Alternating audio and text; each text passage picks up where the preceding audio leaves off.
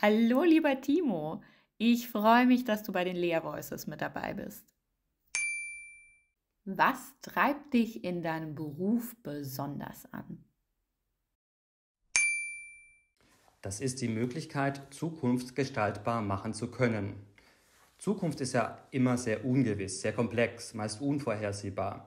Aber auf der anderen Seite bietet dies natürlich auch sehr viele Möglichkeiten, dieser Komplexität zu begegnen. Was mich dann zum zweiten Begriff bringt, nämlich Gestalten.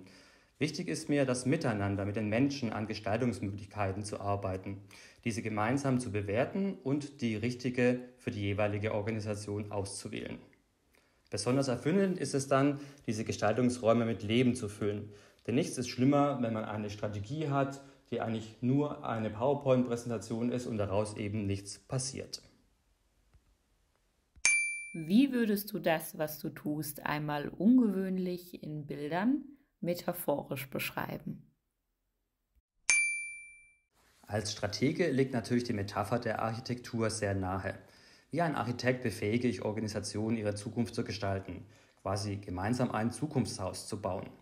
Dabei beschäftige ich mich zuerst mit der Innenperspektive, was die Personen, die in dem Haus leben möchten, gerne mögen, was ihnen gefällt, was ihnen vielleicht auch nicht gefällt, was zu ihnen passt, was sie gut können.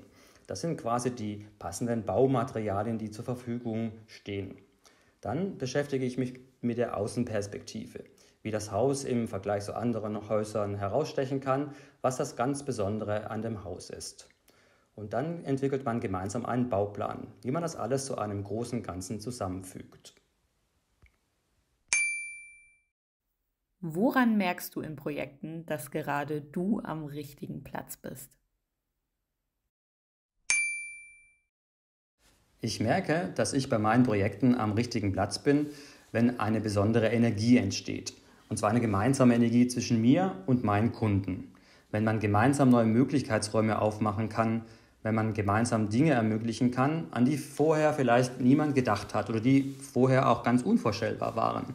Wenn ich über kreative Methoden Ideen aus den Menschen herauskitzle, die über bloße analytische Arbeit oder das einfache Fragen, was könnten wir denn alle so machen, gar nicht entstehen würden. Als Stratege ist für mich das Arbeiten an einer Organisation besonders wirksam, wenn sofort ein Kopfkino anspringt, wenn man sofort Bilder im Kopf hat, wie etwas aussehen könnte. Strategiearbeit bezeichne ich deshalb auch als kreativ geplantes Kopfkino.